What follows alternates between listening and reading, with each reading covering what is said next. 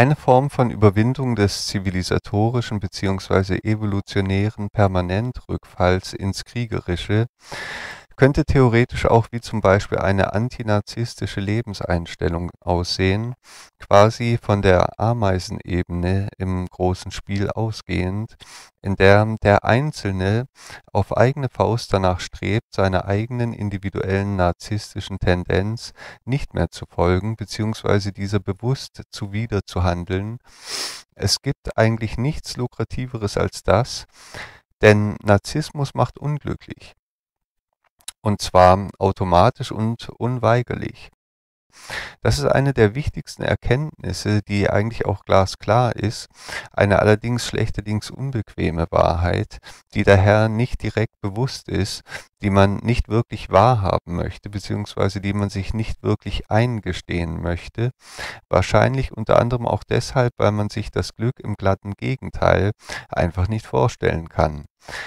Es ist dies Gegenteil halt auch ein ganz unpompöses, unscheinbares, unauffälliges Glück, ohne individuelle Macht und Geltung, eben ein unnarzisstisches Glück, fast schon eher eine Überwindung des Glücks beziehungsweise eine Überwindung der Glückssucht, eine Befreiung, eine Erleichterung und so weiter.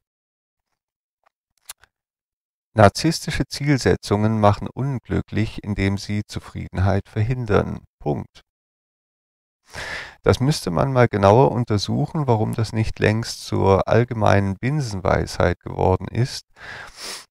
Wenn die Welt nicht so dringend eine Wendung zum Guten bräuchte, könnte man auch einfach Psychologie zum Pflichtfach in der Schule machen. Andererseits müsste man die Psychologie bzw. die psychologische Forschung schon zuvor noch entkorrumpieren von sogenannten Drittmitteln. Aber das ist ein Thema für sich. Narzisstische Zielsetzungen machen unglücklich, Macht, Reichtum, Geltung sind isolierend, das Glück liegt eher in der Geselligkeit und Kooperation auf Augenhöhe, in der Interaktion, in der Freundschaft und so weiter. Und auf der anderen Seite des Narzissmus ist auch die ängstliche narzisstische Anpassung gleich Selbstverleugnung. Es kann nur die gegenseitige Akzeptanz der Individualität echtes Gemeinschaftsgefühl erzeugen. Mitläufer sind gemeinsam einsam, denn insgeheim hat doch jedem seinen eigenen Kopf. Ich erwähne dazu mal noch drei Zitate aus einem Artikel, der 2019 in der NZZ, in der Neuen Zürcher Zeitung erschienen ist, der eigentlich dermaßen interessant und vielsagend ist, dass man ihn eigentlich ganz gelesen haben sollte. Link anbei in der Videobeschreibung. Und das ist eigentlich der Wahnsinn schlechthin, dass die einen unglücklich sind, weil sie im Elend leben und die anderen, weil sie im Überfluss leben. Weil sie im Überfluss leben und dann durch den Überfluss vom normalen Leben entfremdet werden, beziehungsweise von menschlicher Normalität an sich völlig entfremdet sind. Also Zitat Nummer eins, Titel des NZZ-Artikels und Einleitung Doppelpunkt. Die Schwermut der Schwerreichen. Eine der teuersten Entzugskliniken der Welt betreut an der Zürcher Goldküste Reiche. Jeder Patient wohnt hier in einer eigenen Villa mit Butler und Chauffeur und zahlt dafür bis zu 17.000 Franken pro Tag. Zitat 2 Doppelpunkt Viele Patienten kommen als Süchtige (Drogen, Alkohol, Internet, Spiel, Sex).